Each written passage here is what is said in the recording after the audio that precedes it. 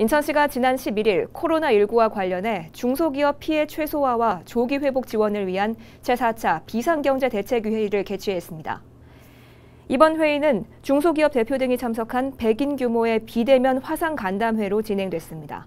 시는 코로나19로 인한 중소기업의 매출 감소 등 경영난과 수출 피해 등 현장의 목소리를 청취하기 위해 이번 간담회를 마련했다고 밝혔습니다. 이날 중소기업 피해 지원 대책에는 중소기업의 경영 부담 경감과 포스트 코로나19 대비 비대면 사업 확대, 수출기업 역량 강화 등의 수출 활력 제고 방안이 마련됐습니다.